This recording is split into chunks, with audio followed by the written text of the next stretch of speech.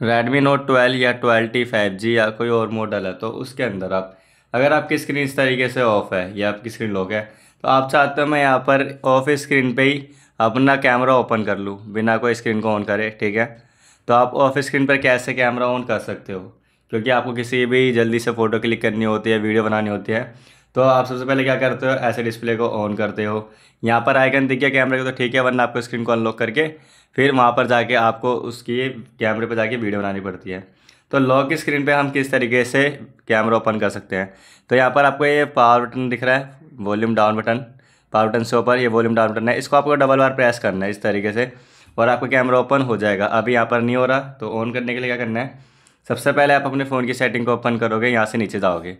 ठीक है, नीचे जाने के बाद आपको यहाँ पर ऑप्शन शो होगा लॉक स्क्रीन इस पर आपको टैप कर लेना है।